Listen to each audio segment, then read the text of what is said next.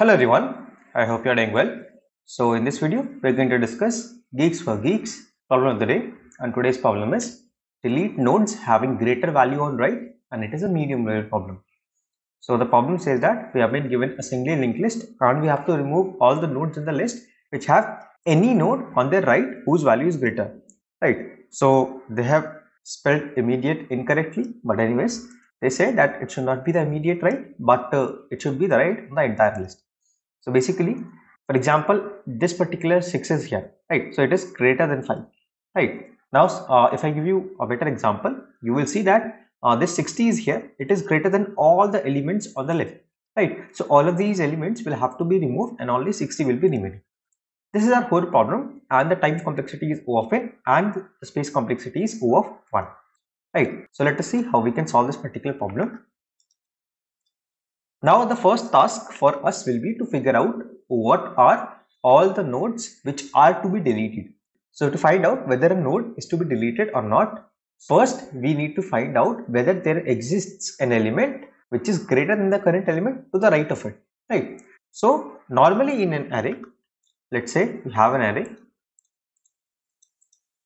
So if we have an array like this and we have some values in it, what we generally do is we traverse from the right right? So we start from this particular position then we go here then we go here and then move go on and then we move on to the left right? So at each position what i'll do i'll have one maximum variable which is going to store the maximum value that i have encountered till now right. So if my current value at this particular position is less than my maximum variable that means there exists an element greater to the current element to the right of it. No matter at which position it is present we just know that it is present to the right of it. Right. So now whenever i encounter such case where current element is less than the maximum element that means i will have to delete the current element or in case of a linked list we'll have to delete the current node right. So identifying whether we want to delete a node is now very simple. We just have to traverse the linked list from the right. And then we can check whether the current element is less than the maximum element or not. And if it is less than the maximum element we're just going to delete the current node. Right. So let us see how we can delete the node. So let's say we have three nodes like these. Right. So this is node a this is node b and this is node c so node A is connected to B and node B is connected to C, right? So for example, if I want to delete node B now, so what we generally do is we directly attach this link from A to C. So deleting the node B on the physical memory is not necessary. The first important task that you would want to do is we should connect these nodes A and C if I want to delete node B, right? So whenever I commit node B, I can identify that I want to delete node B but how will this information get passed to node A that we want to delete node B, right? And to do that, we'll need two kinds of information, right?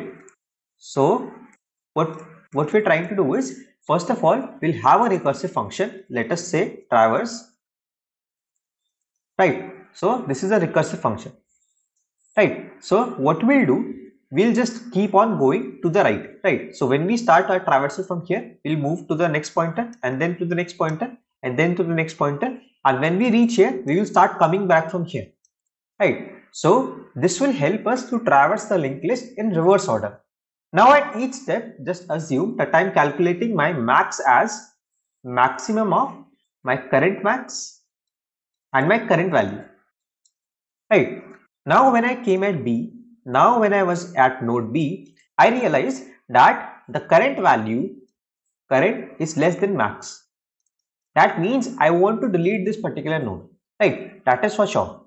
Now if I want to delete this particular node, I also want to pass this information to node A. So what is the information that I want to pass? The first thing is that I want to delete node B, right? That is the first thing. The second thing is next of B, right? So there are two things that we need to pass to node A and that is the first information will be that I want to delete node B. I also need the pointer to node C so that I can directly attach A to C. Right. So this is very important. Now how can I pass these two informations? So my function is now also going to return something. But instead of having two information like this, we always work on optimizations. So we can always use one variable, one single variable to denote both of these information together. Let's say my variable is next, right? So my next variable will either be null pointer, right? So if I am at A and I received null pointer from my recursive call, that means I do not want to delete the next node, right? Otherwise, it will have a valid pointer, right? So this valid pointer will denote that I want to delete my next node and this is the node that I want to connect to now, right? So whenever I'll be going back to A from B, my B is going to return a pointer to the node C. So what will happen? Node A will know okay yes i received a valid pointer so now i directly need to connect to that valid pointer and in this case this would be the pointer to the node c right. So this is how we are going to solve this particular problem. And later obviously you can always decide to delete this particular node b from the physical memory. Right. Now let's say there is one uh, corner case in this particular approach. And that is let's say our head pointer which was this one was itself going to be deleted. Right. So if i want to delete this particular node what will happen? There are two cases. My whole traversal function will return a null pointer. Right. If this returns a null pointer that means i do not want to return my head and in that case i can return my original head from the function. Right. If it is not equals to null pointer then i'll have to return this particular node or the next node whichever my function gave me as the result of my final answer. Right. So that is one edge case that you'll have to take care of. So this was all about this particular problem. Let me just repeat this part again I, it is easy to determine whether I want to delete my current node or not. I'm just going to take a maximum variable which is going to store the maximum value and counter till now while traversing from right to left. Now once I have decided that I want to delete my current node, it is going to return two kinds of information to my previous node. The first thing is that it will denote that I want to delete my current node B and the next thing is what is the next node of B. Now in this particular case I'll be just using a single variable to denote both of these informations. Now in this case I'm just going to use a single variable to denote both of these information.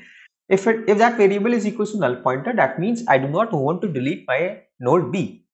And if it is a valid pointer that means I want to delete my node B and this is the pointer to which now the node A should point to, right? So that is how you can solve this problem. Now let us have a look at my summation. So you see what I've done is, I first of all created a maximum variable initialized with minus 10 to the power 9. So this is my traverse function and uh, we'll discuss it in a while, but let us see what happens here.